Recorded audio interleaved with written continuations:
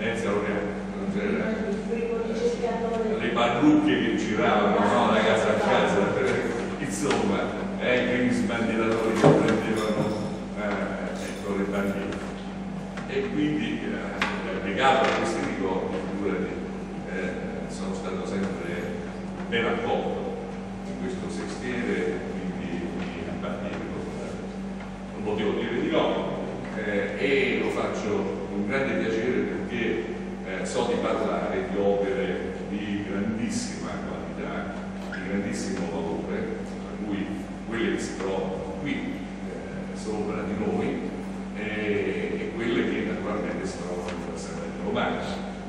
La chiesa eh, stupenda, meravigliosa, tra le più belle di Ascoli, dove i cicli storici, pittorici, artistici si sono eh, così alternati lasciando delle vere e proprie perle eh, di, di di bellezza. Eh, tanti cicli, tanti cicli perché la Chiesa eh, appartiene a stile, stile diciamo, eh, esteriore dell'involucro, eh, eh, testimonianze legate al romanico ascolano, con presenza addirittura anche alla fine del periodo romano, non romanico ma romano, come quelle cose di granito che sono dentro, no? sono, appartenevano sicuramente a un tempio che eh, si trovava da queste parti. E, e, quindi una chiesa eh, contenitore di tante cose molto belle. Ricordo poi da ragazzino che ne conteneva ancora, ma molto ancora di più, perché nella sacrestia c'erano eh, grandissima qualità eh, che poi eh, sono state trasferite la collezione della Pinacoteca Scolare, sapete che la Chiesa non appartiene alla Curia, ma appartiene al Comune, quindi queste opere sono state destinate eh, diciamo, a quella direzione. Vabbè, questo è un po' per renderci conto. La, la Chiesa, la comunità, il chiostro, eh, ha subito eh, vicende storiche eh, legate alla, alla vita, alla storia di Ascoli di grandissimo interesse.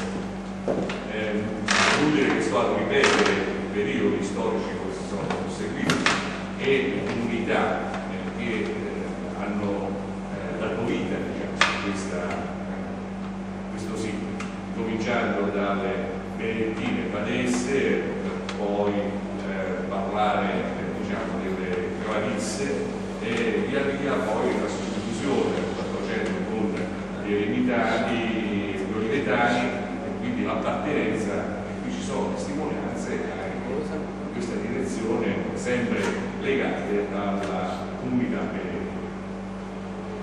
Ora eh, la, la, Chiesa come ci si presenta oggi entrando eh, chiaramente non è quella che era allora, proprio perché ha lasciato sulla sua pelle testimonianze. È, è una Chiesa che ha lasciato proprio le tracce. Oggi ci appare più in una veste barocca, ecco perché ho preferito citare, diciamo, trattare molto velocemente eh, per trattare queste cose di cui vi parlo su il giorno, veramente il giorno. Io lo farò molto rapidamente per non tagliarvi, per non annoiarvi, cercando di arrivare diciamo, a concetti a mesi. E quindi ha lasciato la pelle, diciamo, soprattutto nel 600 e a cavallo tra il 600 e il 700, con un grande pittore, scolato naturalmente, eh, Tommaso Nardini, che poi ha lasciato questi segni molto forti. Però ci sono anche presenze che risalgono anche ai secoli della fondazione. E questi purtroppo non sono visibili. Io spero che, eh, so che ci stanno facendo dei lavori molto importanti per poter accedere a questi affreschi eh, che sono di grandissima importanza. E da ragazzino già c'era stata questa scoperta eh, pochi anni che, che, io potessi vederli la prima volta.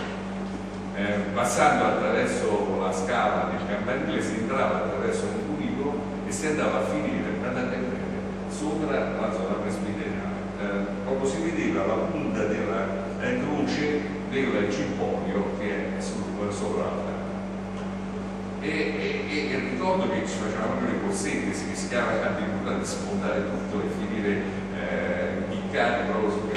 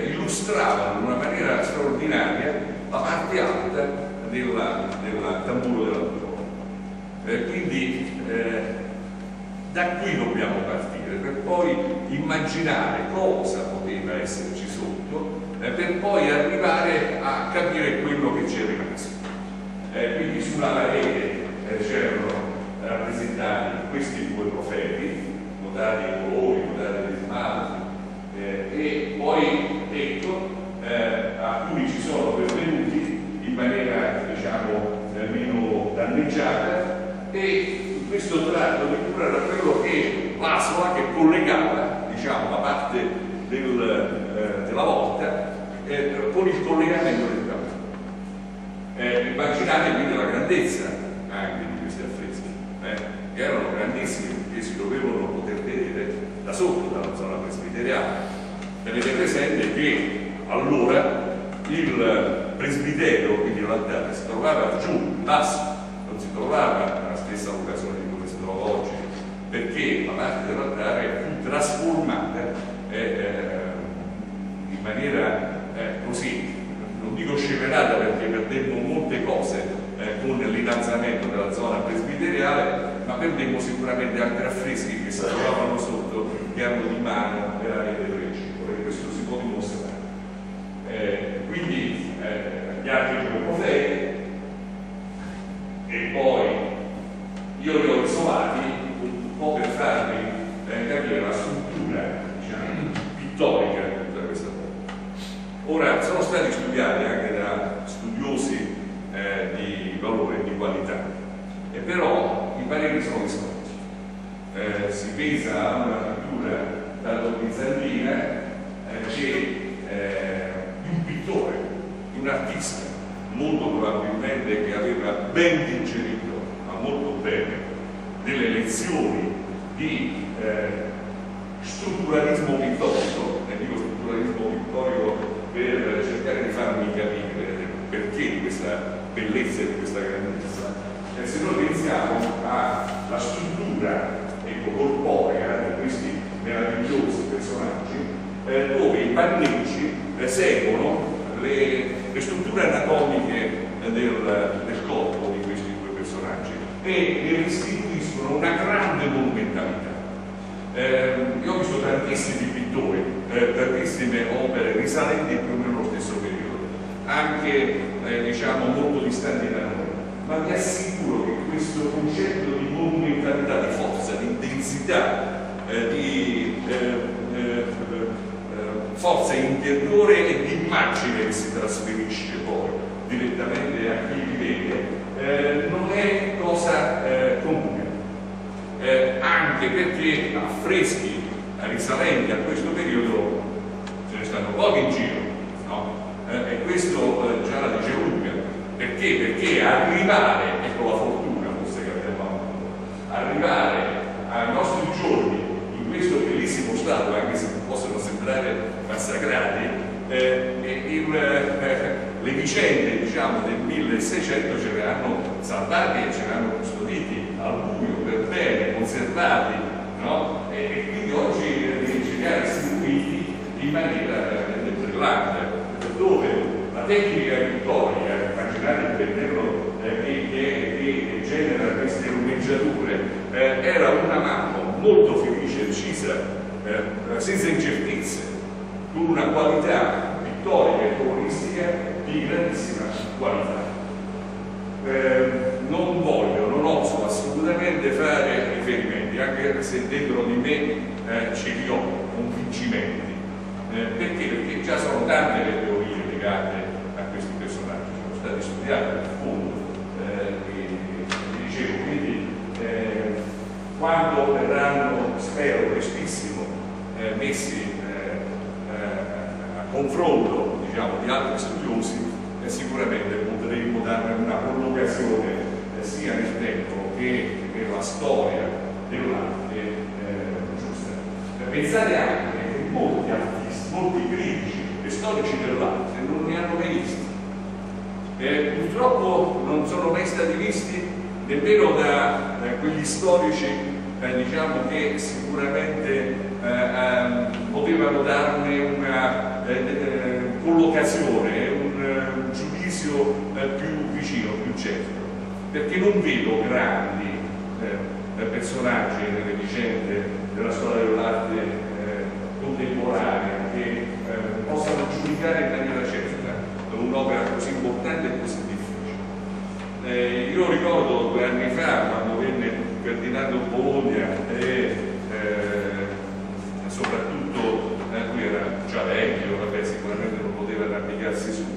ma Leone De Gastris eh, che ci ha lasciato gli atti che poi pubblicheremo fra due mesi, eh, avrei tanto voluto eh, portarlo su per farvi eh, vedere quest'opera, eh, ma mi riservo di eh, ricondurcelo sicuramente per farvi vedere, rimarrà sicuramente bene non mi dilungo oltre, però ecco, pensate a questo scrigno, eh, che è questa chiesa che nasconde, cela eh, questi, eh, questi, queste preziosità, no?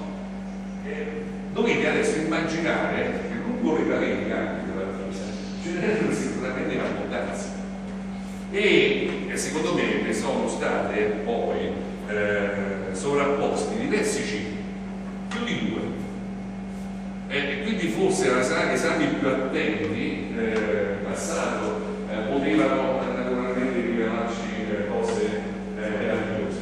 Purtroppo, tra virgolette purtroppo, anche perché la storia deve svolgere eh, il suo trascorso in quei cicli, nel 600 e nel 700 molte pareti delle navate laterali sono state sostituite, eh, eh, gli affreschi sono stati sostituiti altari eh, tardo barocchi? Eh, che hanno accolto, per nostra fortuna, opere anche eh, su tela eh, tra i maggiori pittori che circolavano in quel periodo. Eh, non ne trattiamo qui perché parliamo solo di affreschi, ma Maratta era un artista eh, che a Roma aveva, serviva le grandi comunità religiose, i grandi papi, Giacinto Brandi, tutti quegli artisti, Canini, tutti quegli artisti che sono ora presenti negli altari eh, a Roma. Io ricordo quando portavo eh, i miei alunni a Roma, io eh, per ogni artista presente in questa chiesa li portavo a vedere cicli pittorici importantissimi. Quindi eh, cosa accadeva? Eh, accadeva questo che gli olivetari avevano probabilmente contatti con Roma che gli permettevano poi di avere in città da loro ecco, opere di prestigio, proprio perché avevano rapporti molto stretti, eh, soprattutto gli artisti che operavano. Ma andiamo quindi immaginate le pareti interne della chiesa ricche, colme di opere di grande, grandissima qualità. Alcune si sono svelate, un secondo strato forse, non è di grande qualità, ma sotto sicuramente c'erano tante. Eh, qui mi piace anche eh, far notare una cosa, che questa chiesa e questo diostro sono stati assaliti proprio, nel vero senso della parola, dai francesi quando sono venuti in Ascoli.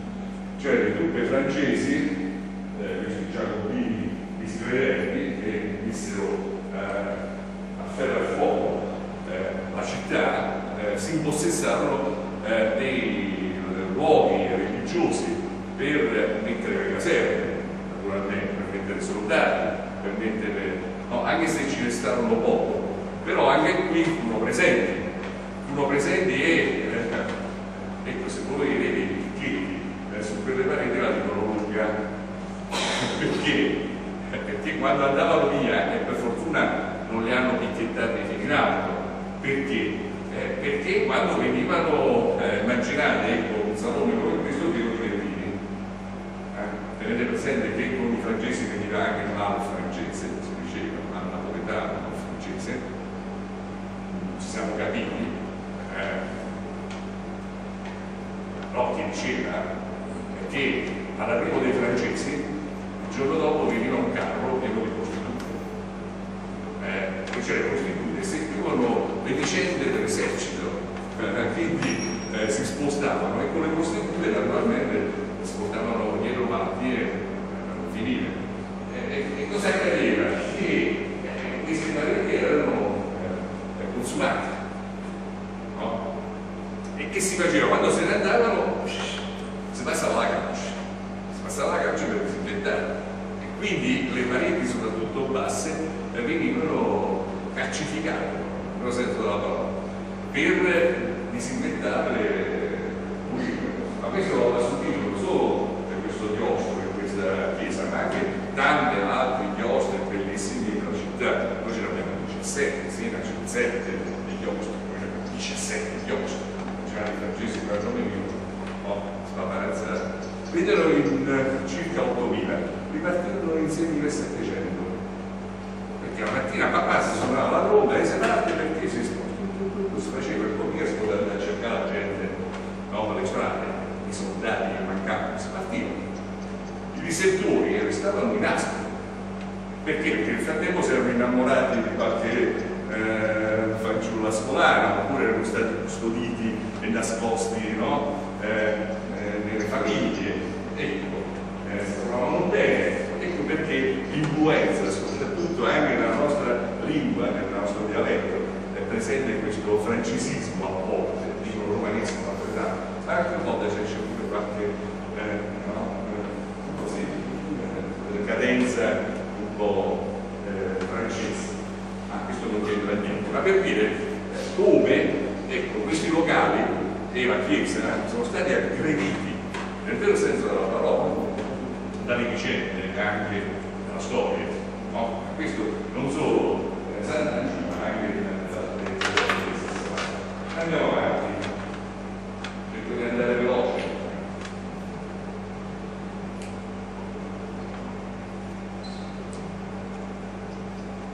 Ecco qua, e questa è un'altra parete.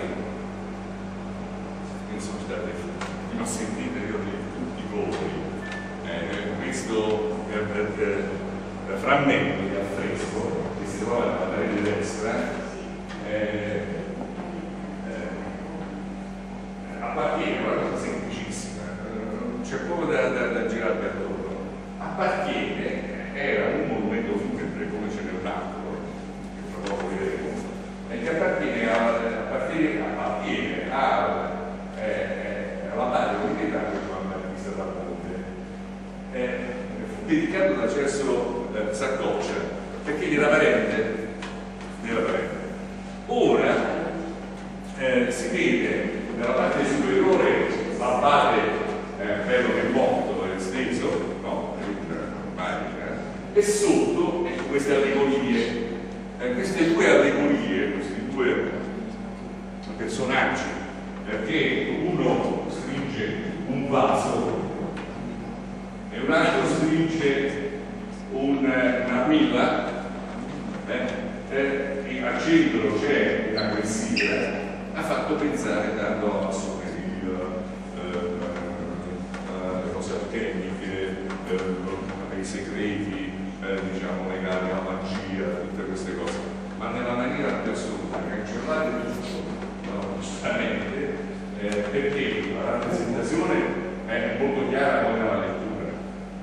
Eh, la rappresentazione di allegorie eh, era molto frequente, opera di cosa? Molto probabilmente di allievi di Cola Matrice, certo non di Cola, no? L'opera così non, non, poteva naturalmente entrare nella, eh, così, nei lavori della Cola Matrice, però dei suoi allievi sì, dei panneggi, alcune espressioni, eh, eh, si può riconoscere forse una mano, alcuni cartoni, una certa. Eh, eh, erano simbologie legate alla morte, al trascorso della morte, il vaso come contenitore di saggezza, come contenitore della vita, dell'afflato della vita. Eh, eh, per capire un vaso, diceva Aristotele, bisogna essere vaso, cioè nessuno può capire l'altro. No? Eh, solo noi stessi sappiamo come siamo fatti e coscientemente possiamo eh, capire no? quali sono i misteri della nostra eh, spiritualità, del nostro io.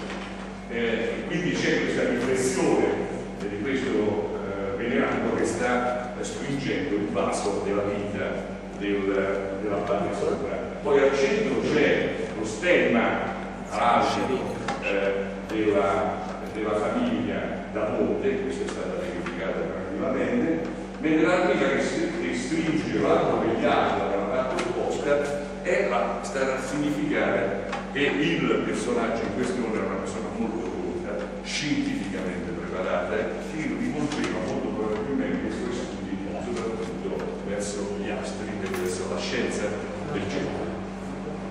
Al centro c'è questa clessidra tipica, elemento simbolico del trasporto. Che a un certo punto ma finisce, c'è poco da fare, inesorabile dove? Prima o poi quindi se qualcuno tenta letture esoteriche uh, uh, così fantasticherie di questo genere toglieteglielo subito alla mente perché potrei citare una ventina di opere di quel periodo che portano stessi simboli tranquillamente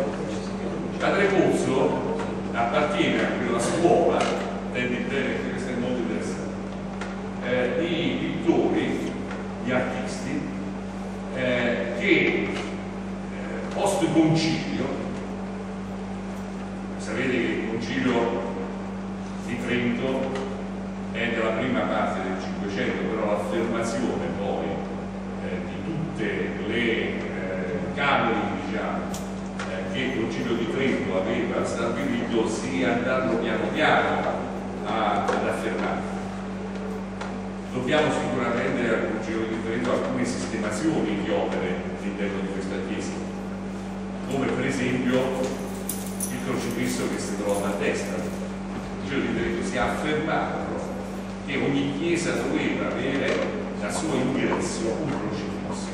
Quel crocifisso che è del 400, che è bellissimo, eh, fu posto lì eh, sicuramente dopo il Concilio di Trento, cavando proprio quella. Eh, lì c'era sicuramente un altare, c'erano degli affreschi, però fu fatta sede appositamente per essere contenuto.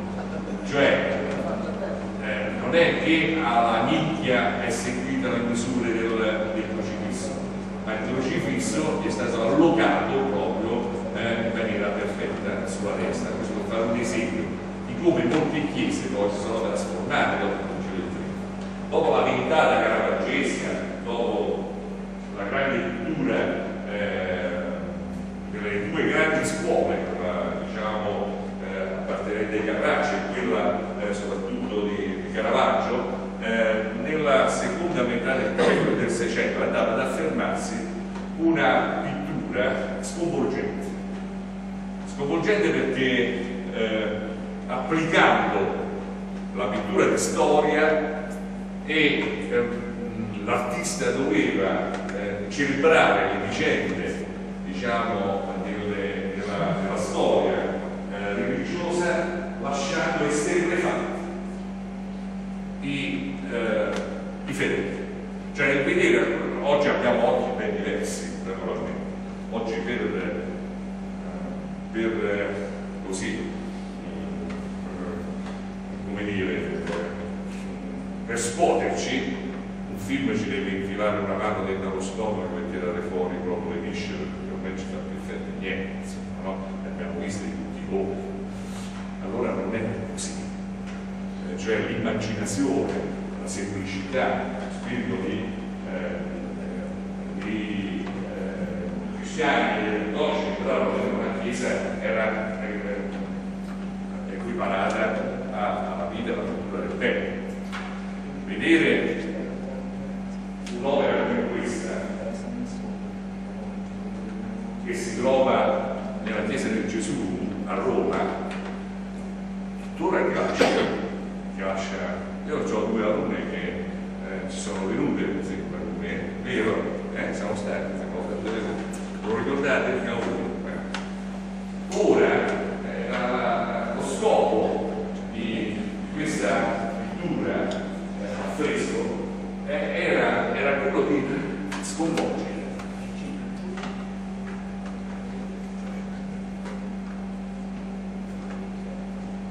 I, i, i, rapporti tra la pittura, scultura e architettura venivano ad annullarsi. Non si sapeva dove finiva l'architettura, dove iniziava la pittura e dove poteva iniziare la scultura. Perché tutto quello che sembrava pittura poteva essere scultura. E tutto quello che poteva essere scultura sembrava architettura. Che voglio dire? Voglio dire questo, se uno se ne state la chiesa di Gesù a Roma, no, era la chiesa madre dei Gesuiti si entra dentro, si accendono o si aspetta diciamo le 11 del pomeriggio, eh, eh, venite a bocca aperta. Anche se venite a sapere poi che molti di, queste, di questi angeli no, possono sembrare eh, gesso, scolpiti, sono invece pitturati e viceversa, quelli che sembrano pitturati sono invece eh, fatti in gesso eh, il soffitto che pare in larga parte eh, cassettonato in legno invece è dipinto. Eh, questo soffitto che eh, eh, viene sfondato da un cielo improbabile, l'illusione, siamo nella pittura illusionistica, l'illusione è forte, è straordinaria. E tuttora sorprende, anche se abbiamo lo stomaco eh, io da ragazzo mi ricordo si andava a camminare sul, eh, c'è un camminatoio sulla balustra in alto eh,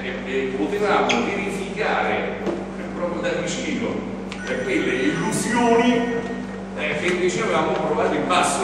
Io mi ricordo sempre quest'angelo che sembra, ma ci avresti commesso chissà che cosa, fatto di gesso, no? E invece di pinto. È per dire. Quindi l'illusione, la figura dell'illusione. Il Gauni, Giovanni Battista Gauni, Padre Pozzo, abbiamo detto prima, le grandi illusioni architettoniche.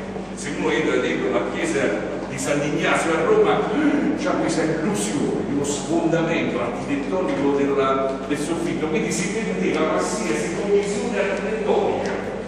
Quando l'architetto viene a contenere lo spazio, proprio per definirlo, è opera di architettura, quella di definire e racchiudere uno spazio. Qui arrivava il pittore andava tutto, si perdeva qualsiasi condizione. Ora,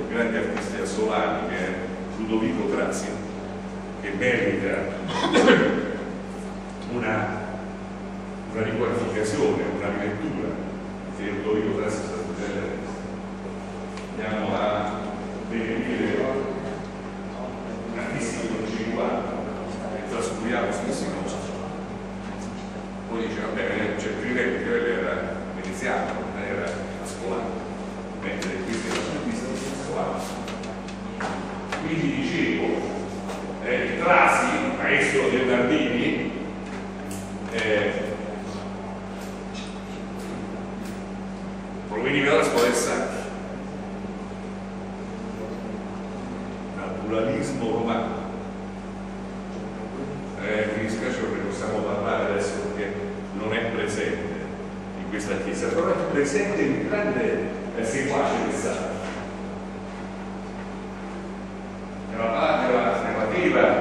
Santa Romana abbiamo nella parete nella navata a sinistra eh, abbiamo un seguace di Sacchi che aveva frequentato insieme a Ludovico Trasi la scuola del Santiago quindi abbiamo tutto presente in effetti le grandi scuole ce l'abbiamo dicevo in archivi e incaricato di affrescare l'opera già c'erano degli affetti e vi dirò di più ormai è accertato che ci fossero anche delle opere di Cola della Mancia è un, un forse è meglio spegnerlo non viene da qui eh sì spegne sì se non lo usi sì meglio spegnerlo tanto sentite no? e da lì incomincia diciamo, a dirigere questo ciclo perché l'ho, fatto, l'ho fatta lunga la cosa per farvela gustare di più per capire ancora di più quel ciclo di accesso eh, non è da eh, gradire solo l'aspetto pittorico ma è la macchina costruttiva l'apparato pittorico che accoglie l'opera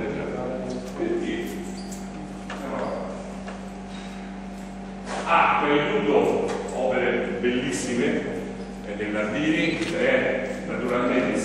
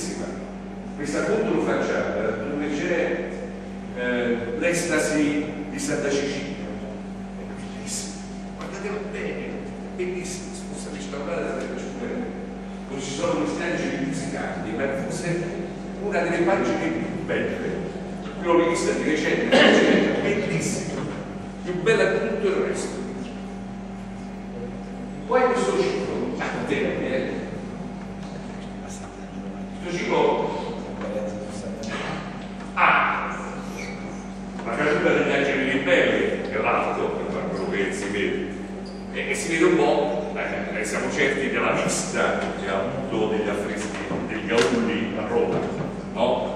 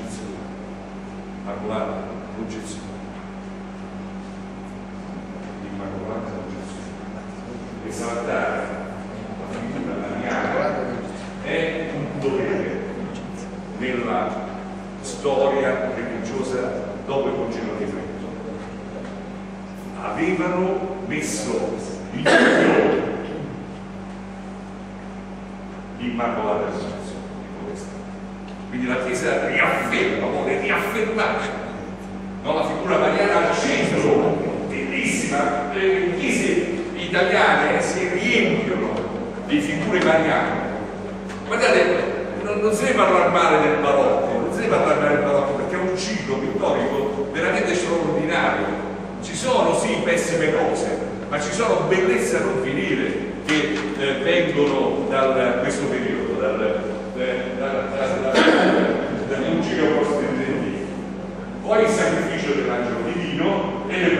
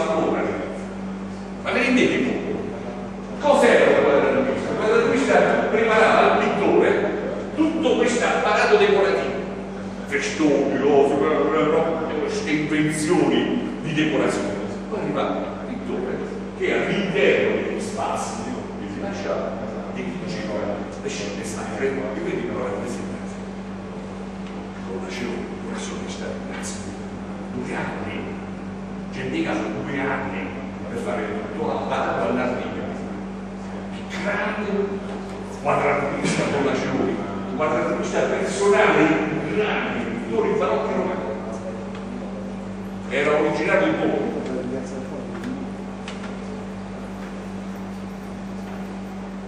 E ecco,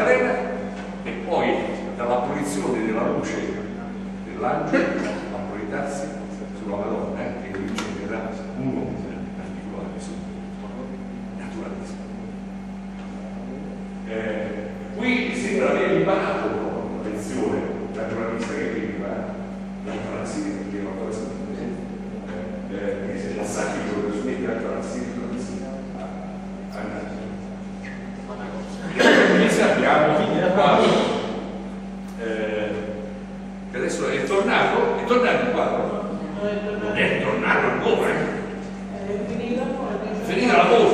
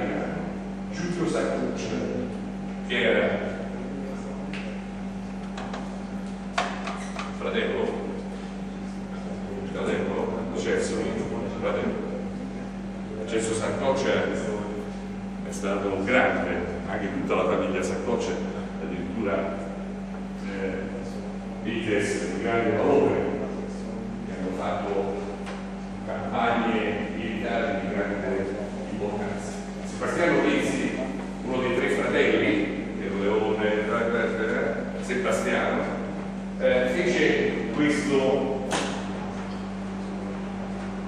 monumento allo Stato monumento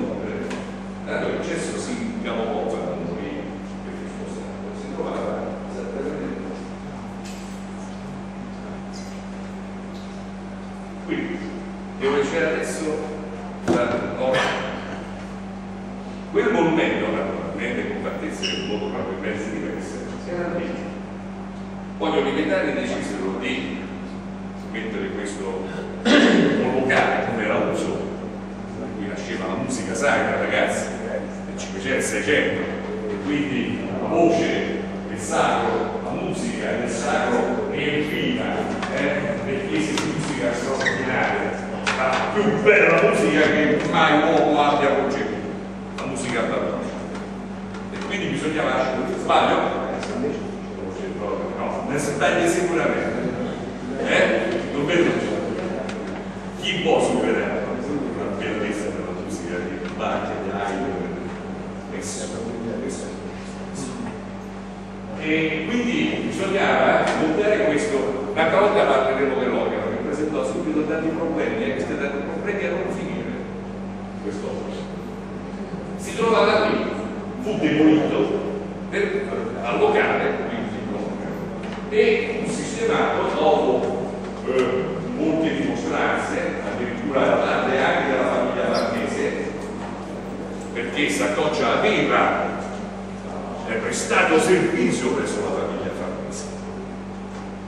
E presso anche i papi. Questo è lo stemma dei Farnesi, di questo è lo stemma dei Farnesi, questo è lo stemma di Saccoccia, a centro c'è quello degli Unitari, che viene eh, ripetuto qui con i tre colli e le croci e, e, e a destra c'è lo stemma di Ascoli.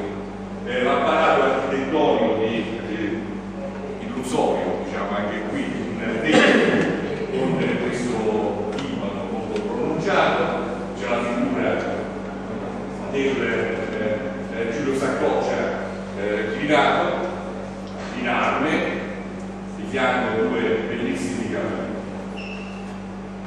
ma sicuramente un pittore non eccesso, diciamo così generale.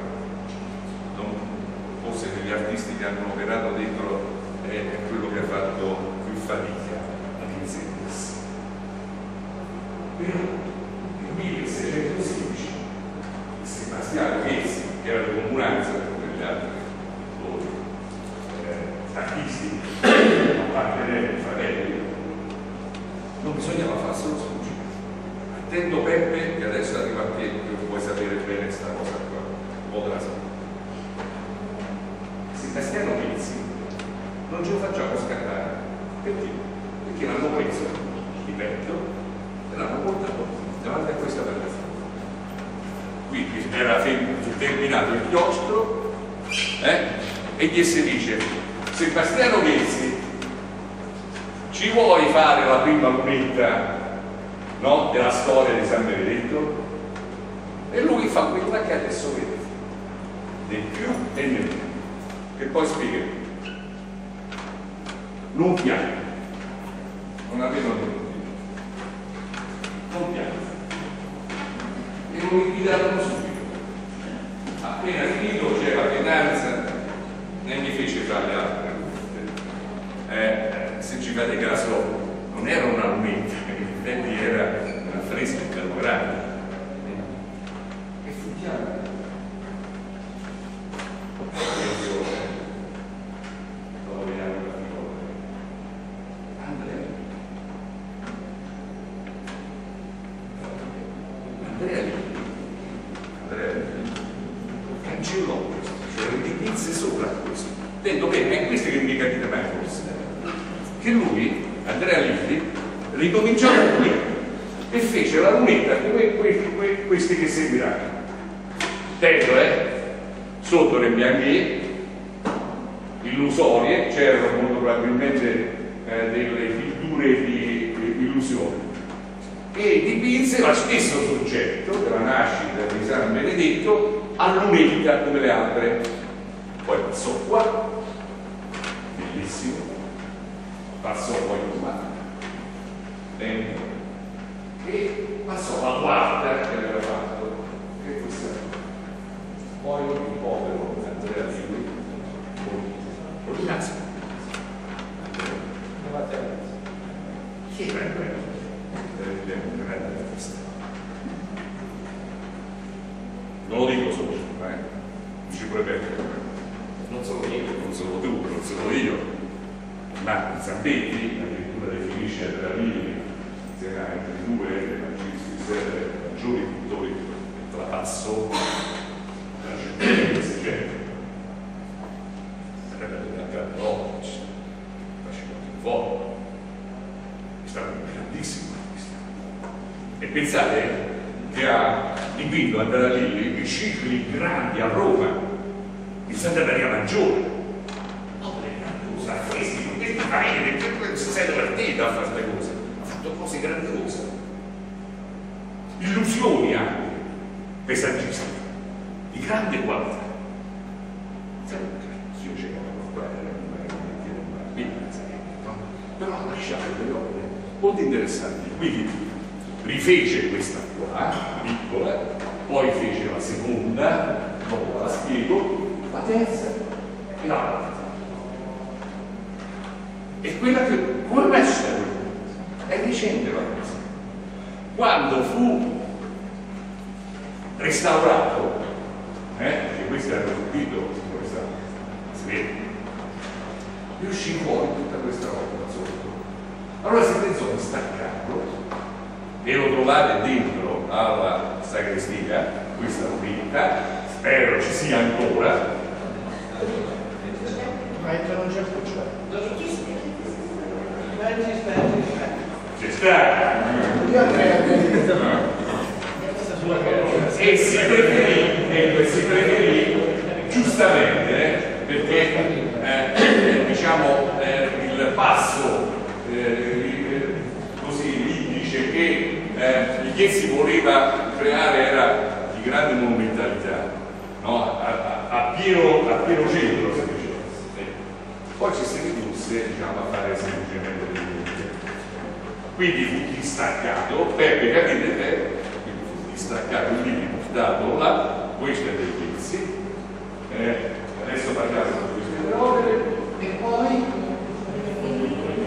da lì in poi è pure da là tutto respiro. e vediamo non deve essere scrivettato eh, riesco a spiegare anche le scritte che sono molto interessanti e l'ultima